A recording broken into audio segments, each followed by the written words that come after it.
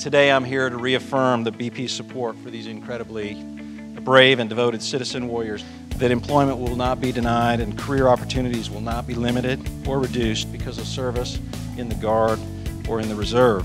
Uh, America's security really depends on the patriotism and dedication of these remarkable men and women. It's uh, a real honor to be able to be Chairman and President of BP, uh, sign this statement, and to be able to speak to you today.